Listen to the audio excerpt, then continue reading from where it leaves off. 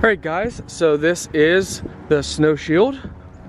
So as you can see, it covers your windshield. You can adjust it however you want. Overall, it's really nice. So there are magnets in here, if you can hear that. So that helps it keep it down. Overall, covers a SUV really nicely. I'm happy with it. Hey guys, welcome back. So today we are reviewing Cosyzone car snow cover. So let's go ahead and open this up and then we're going to show you how it looks on our vehicle. So here's a small little guide to show you how it works and what it's made of and the material. And this is it. So this one is a larger one, which is great for all vehicles plus SUVs and pickup trucks. So the black would be facing down while the silver faces outward.